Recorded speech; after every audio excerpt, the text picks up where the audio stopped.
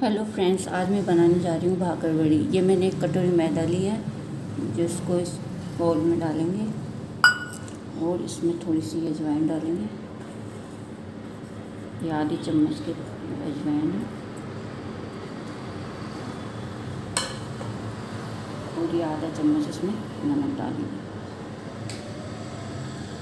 और इसको मिक्स करेंगे।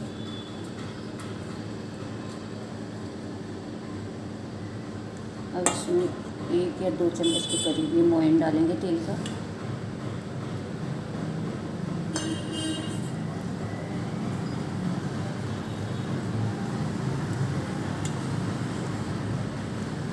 अब इसको अच्छी तरह से मिक्स कर लेंगे इसमें।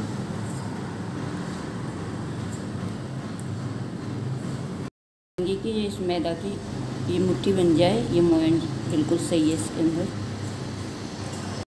थोड़ा थोड़ा पानी डाल के इसका एक सॉफ्ट सा लोई लगाएँगे।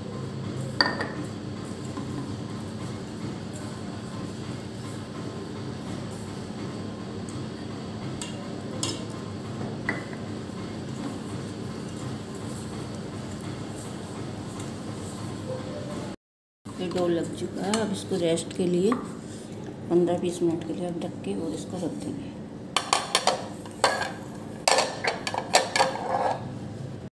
कटोरी बेसन लिए। उसमें डालेंगे अजवाइन। ये थोड़ा सा गरम मसाला ये काली मिर्च ये आधी चम्मच नमक। मिक्स करेंगे।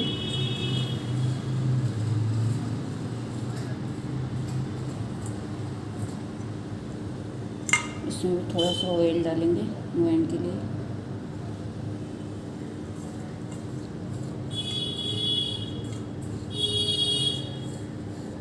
ताकि हमारी बाकरवड़ी सॉफ्ट और खस्ता बन सके, खस्ता और कुरकुरी हो सके।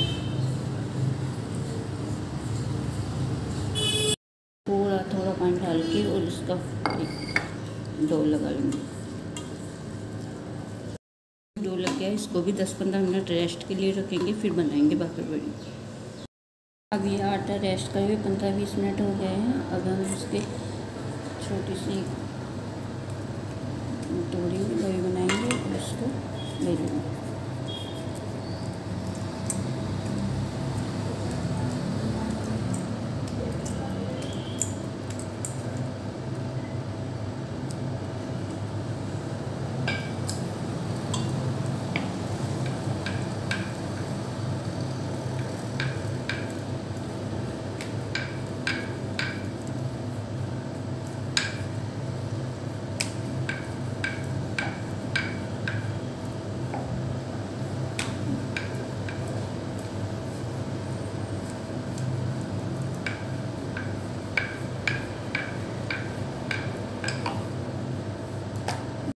मोटा नहीं रखेंगे, इसको बिल्कुल पतला बेलेंगे ये देखिए। अब थोड़ा सा बेसन की एक छोटी सी ले लेंगे।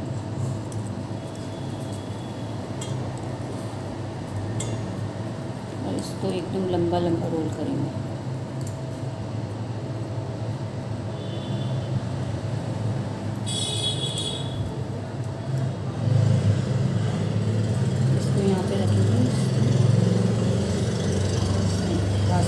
करके।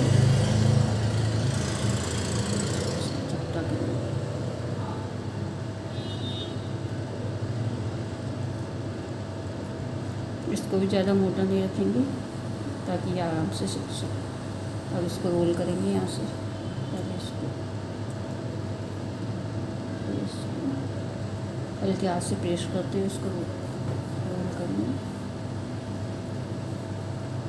अब जो ये हिस्सा बचा इसमें थोड़ा सा पानी लगाएँगे ताकि ये हमारी भाकर तलते समय खुल नहीं जाए। पानी लगा के इसको चिपका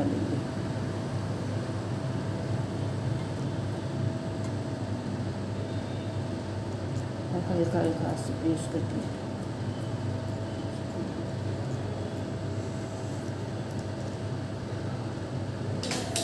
इसके जो ये किनारे हैं, उनको हल्का हल्का से कट कर देंगे। इस पर जितना बड़ा साइज़ आप लेना चाहो, उतने बड़े पीस कर लेंगे।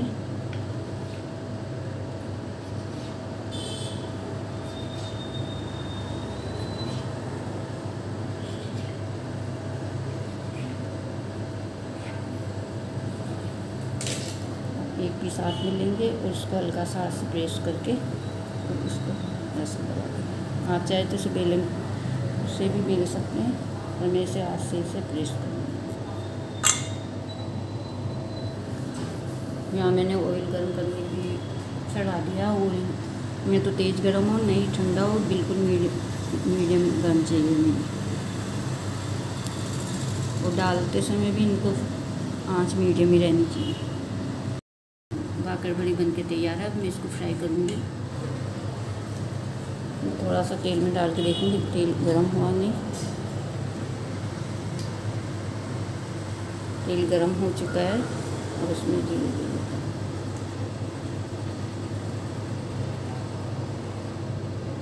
हमें आँच मीडियम ही रखनी है इसकी।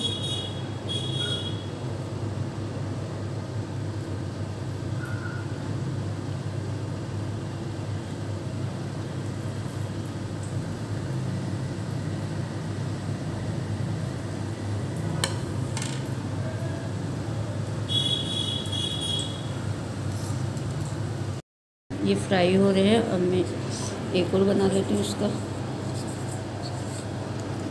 फ्राई होने लगी है, अब इसको हल्की सी गोल्डन होएगी ब्राउन ये फ्राई करेंगे, अब इसको मैं पलट देती हूँ।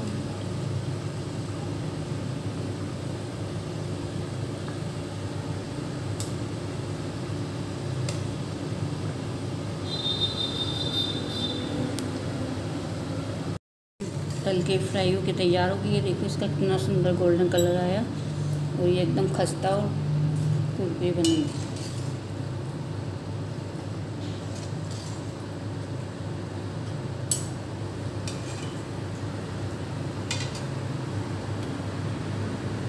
अब इसे पे निकाल दूँगी